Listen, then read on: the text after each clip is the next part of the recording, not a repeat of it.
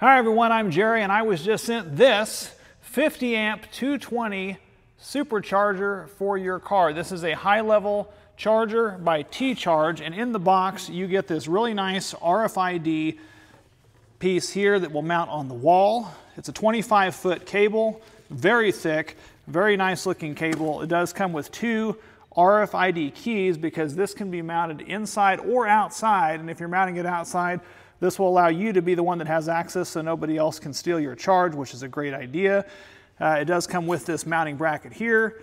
If you're using it inside, you can also use these or you can also use an app on your phone. And I'm going to show you how easy it's going to be to install this in your garage. Now, one thing you are going to need uh, before you get started is access to a 50 amp 220 line. And I happen to have one right here. I've already run it from a 50 amp from our breaker box over to here. And so I will be mounting this bracket here and wiring this thing up. Let's get started. First thing we're going to do is go ahead and mount this backing plate. It's got some hooks on it. They do provide you with some wall anchors if you're mounting it in sheetrock or if you're just going to screw it directly into the wood like I am, I'm just going to need those. And I'm going to go ahead and use a power screwdriver here to go ahead and get that driven in the wall. And you want to make that about as level as you can as we're putting that in here.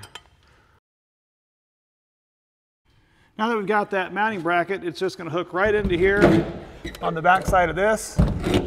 Got two, two holes that just lock that into place. So now that's mounted firmly on there. I'm going to go ahead and set that cord down for a second and I'm gonna have to remove this front plate so that I can go ahead and wire this into here and I'll show you how we're gonna do that next. You've got a little Torx head screw, a little security screw bit here on the bottom and they provide you with this.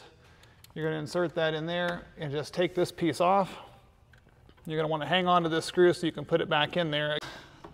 Now that we get this, use a flathead screw, just popping this off. We'll pop this front cover off here. There's a couple little notches to help get you started. You're going to set that aside and then using a Phillips head screwdriver, you're going to go ahead and remove these six screws that are in here.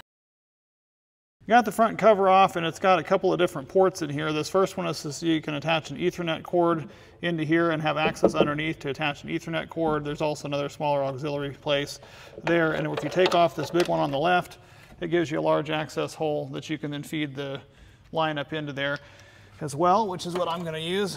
We're gonna go ahead and send these up through here like this.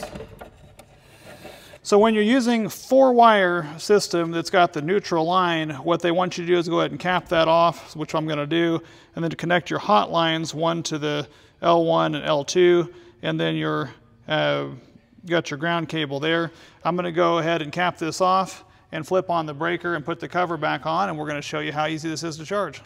So I got the 50 amp breaker turned back on. It's solid blue, which means it's in standby mode. Now this has got a nice little holster on the side that you got to pull this trigger to unlock. And now you've got your, your nice uh, charger here again, along with this great cord. This thing is a super thick cable. I'm really impressed with that. So it should last quite a while. We're gonna go ahead and pull this over here and I'm gonna plug it in to my Volvo here.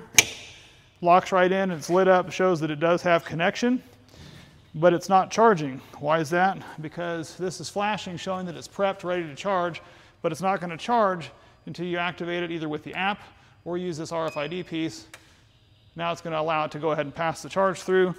And so now it can be charging so that if you're plugging this in outside, again, nobody's gonna come up and steal your charge, so that's a really neat feature. I think this was a super easy install as long as you've got access to that 50 amp 220 line. This did not take but about 15 minutes to install this. It's going to be about nine times faster than my level one charger inside, so I am really excited about this.